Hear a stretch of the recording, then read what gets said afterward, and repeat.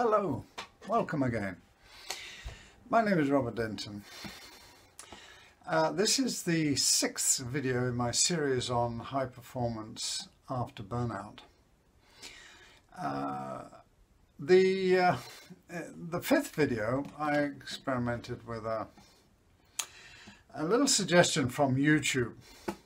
It was something they sent out to all YouTube YouTubers uh, to make videos um, amusing, funny, because that's what gets uh, most um, views and longest views. Well, burnout, uh, high stress, overpowering stress and burnout, uh, not exactly a funny story, but I am determined to take notice of them and see if I can do better. The first three were very unfunny, very serious. Um, I tried to improve with number five and this is number six. So I'm still talking about the same subject and um, it's all wrapped around uh, my book, High Performance After Burnout, Fix the Stress Before the Damage is Done. Uh, this is very serious, so um, I find it difficult to be funny about it, and I was criticized for the last one uh, of trivializing burnout. So hmm, at least I'm getting some feedback from some of my viewers, so, so, so that's good. Anyway, the um, High Performance After Burnout is available at Amazon.com. And uh, anybody living in Switzerland is not going to be able to buy it from Amazon because of the Swiss government restrictions. However, uh, a special email address has been set up for anybody who does want to buy a copy who's living in Switzerland and it's uh, the publisher, the Swiss publisher in Geneva, uh, First House Press at gmail.com. And their address is there. Also the address of the previous uh, videos. Okay, good.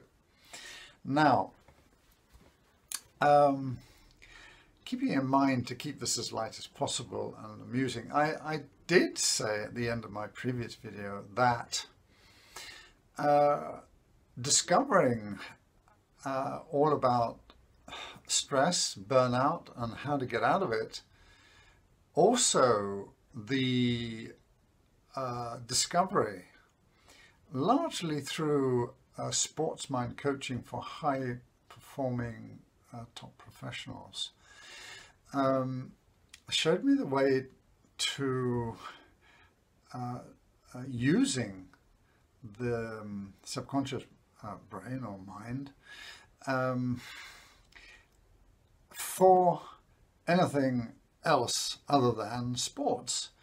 Uh, the, the, sports coaching were the first to, to develop NLP to this level. Uh, NLP then raised the odds a bit, but sports mind coaching then raised it even further. Now, I thought, well, if it works for sports people, then it can work for anybody. And it's what I use to get me out of burnout. Um, it took a little while. It took a few years to master it. Um, but then I did some amazing things, and they're, they're all inside the book. Well, all of them, and some of them inside the book. Um, the, the most important thing is I try to explain how easy it is to use the subconscious mind for high performance without stress. Simply because once we program uh, the subconscious mind to do something, and it has to be programmed very, very carefully because if, you, there's an error in the program, of course, it'll keep repeating the error. It's roughly what we call habitual behavior, but a little bit more profound and deep-seated. And uh, it, it's how golfers, professional golfers, play those amazing strokes.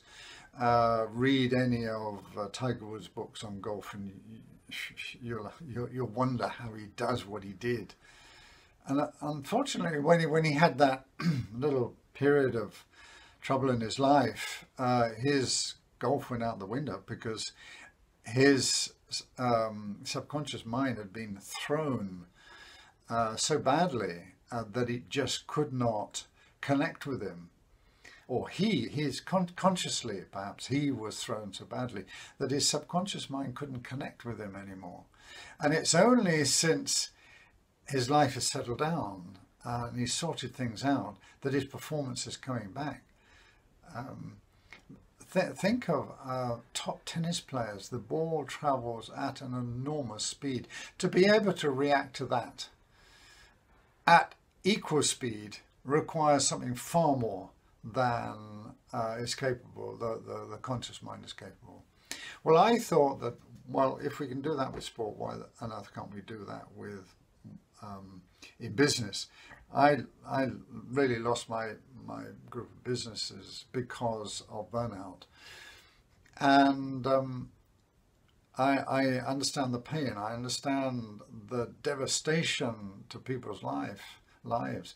But the other thing I found, and this is the funny thing about burnout, is that it always seems to lead to something quite profound, quite quite special. Um, as a, a, metaphor, I was watching um, a program uh, on BBC Four television called Grand Designs, and there was a couple there who had a. They were in the music business in London, very stressful, and uh, their cottage in the country burnt down. They decided to rebuild, and then they had the real whammy and discovering that their insurance has lapsed.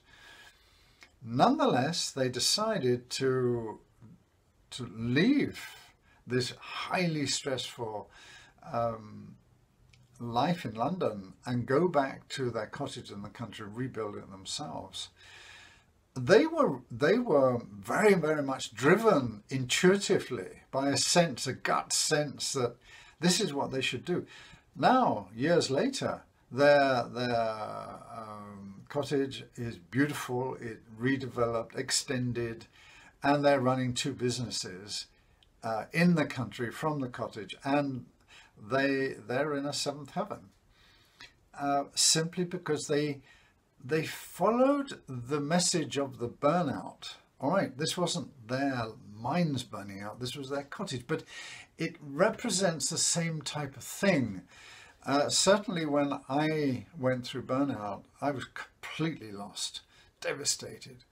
Um, but, but I decided, well, I, I started to study it, study neuroscience, study the mind, uh, study um, life coaching, study NLP, studied sports mind coaching, and I came to understand how to use the subconscious mind for high performance without stress. And it, it became a joy, it became my passion. And, and that is, um, I, I play with it, I create all the time uh, new performance programs uh, and and uh, and perfect them and absolutely enjoy seeing them happen. I give you a little example that recently happened. I had um, a bad fall. Well, a slip. I didn't actually fall. I slipped and did the splits, but not like a can-can dancer does the splits, but actually sideways. And what it did was to finish off um, an injury to spinal column um, that I had when I was playing rugby at 14 at boarding school. Anyway, three years on, and still with the physiotherapy and doing everything I should do and, and exercising every morning, I still have a semi paralyzed foot. One of the problems was I found that um, if I uh, stepped on something quite small, like a small stone or an acorn, or a, a cone from a pine tree, uh, my ankle would, or my left ankle would flip over and instantly my the left knee would give way at the same time and down I would go. Well, uh, I, I did this twice and I thought, whoa, I've got to stop that.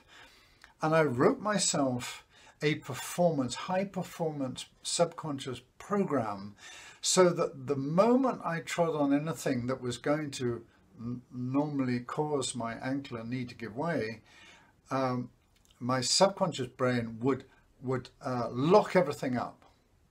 Now, uh, I did that about a week ago. Yesterday, I did stay, it's autumn and the acorns are coming down and in the town I stepped on an acorn and I felt my ankle and my knee lock up. I thought, wow, fantastic. Now, today uh, I was walking um, along the street and I uh, I had to, uh, well, I was looking out watching the traffic, but I was crossing the road. And while not watching very carefully while I was walking, uh, my foot stepped into a little pothole and I felt my ankle start to go and then it instantly locked up and my knee locked up. And I thought, that's it, it's done, it, it works. And I, I wasn't doing anything, I was watching the traffic. That is the power of the subconscious mind. So I'll leave you with that. I'll be back with another video and um, if, if you're under great stress, uh, there is hope that there are these amazing capabilities to do. Um, I'm a trained uh, sports mind coach and a, um, life coach uh, and, and, done all the, the NLP and everything else. So, so I regard myself now as a, a subconscious mind performance coach. Um, and this book, my book, I hope uh, the high performance after burnout, I hope that it, it, will give you hope and help you to understand um, there is a future. And um, it's, it's, not that you've got to go through burnout to have a beautiful house or or or discover a new future. It, it's um, don't do it. There is another way. You can prevent that burnout from happening, but it does mean you've got to take notice of, what the stress is saying to you. Is what is it signifying? What is it a symptom of? And and it does mean some major changes in your life because these stress symptoms are because you're doing something wrong. I got into burnout because I was thinking the wrong way. I thought I was doing all the right things for my company, but I wasn't. I was doing all the wrong things for me, and that meant that I couldn't continue to run my companies. So take care, and this is Robert Denton.